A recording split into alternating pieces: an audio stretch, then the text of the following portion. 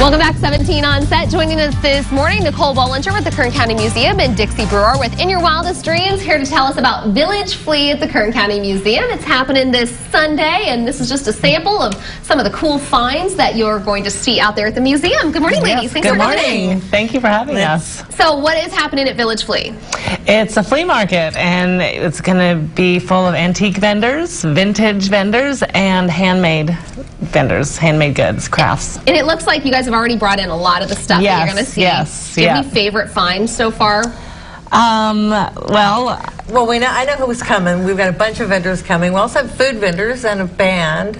Ooh, so fun. it's, yeah, that's what's going to be big fun. But Food um, and music? food yes, and delicious music. food and snacks Yeah. and music. There's a Um, lot of favorites in town. Yeah. Yeah. Do you have any favorite finds? Like any, what are, what's one of the coolest things that you've um, ever discovered when sifting through a flea market or? Well, I'm loving this little purse that Dixie brought here. That is That's really lot- cool. That's really fun. Yeah, yeah. Yeah. So vintage um, and just uh, handmade things. There's going to be fresh flowers. fresh flowers and and I'm loving these little um, bracelets here. Those are fun. Um, with the big, uh, Yeah.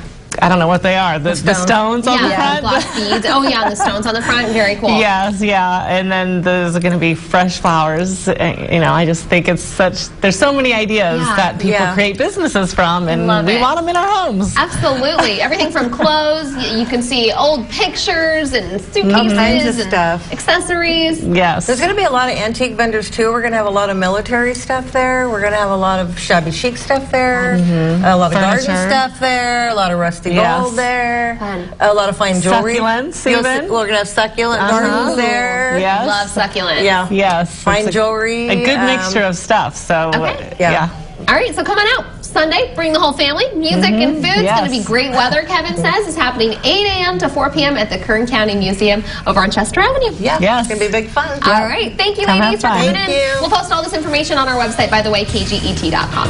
We'll be right back after this.